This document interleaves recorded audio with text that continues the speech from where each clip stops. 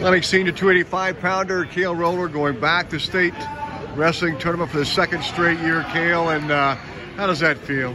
You know, it feels good. You know, this has been my goal. You know, my goal is to be on top of the podium, but first I got to get there. You know, Cale, we talked to the other three qualifiers as well uh, Easton O'Brien and Abram Moore, Joe Weaver. They all talked about goals.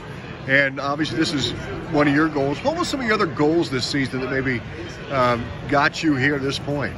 You know, uh, I've been striving for. You know, I really want to get back to state duels, and we had a good uh, we had a good regional duel uh, final. Um, everyone wrestled hard, you know, and I got my conference title. That was one of my goals, and then I got a John J. Harris title, which is another one of my okay, goals. Okay, I got to go back to regional duels because that was one of the uh, most exciting duels. Uh, the fans were into it. What was that like down there on the mat? With the fans like that and the, and, the, and the spotlight, the whole atmosphere. You know, it's a it's a crazy atmosphere. You know, you can feel the crowd's energy flowing through you.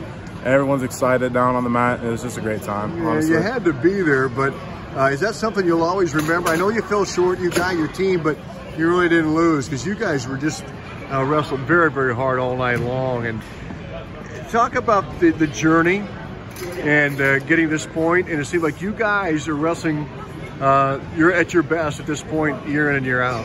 You know, uh, Coach Tuff, he's a great coach. You know, all four years of high school, he's pushed me to become the man I am, uh, become the wrestler I am, and it's just it's been a great time. You know, it's it's gonna be sad when it comes to an end, but I'm excited to make some noise. It's not coming to an end. You still not got yet, the state meet, Cale Roller, and your thoughts going in. You've been there once. You know the atmosphere. You know the routine.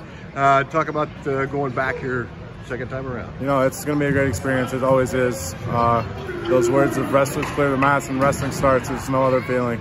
It's crazy, and I can't wait to I can't wait to experience it again. Cale, congratulations. Thank you.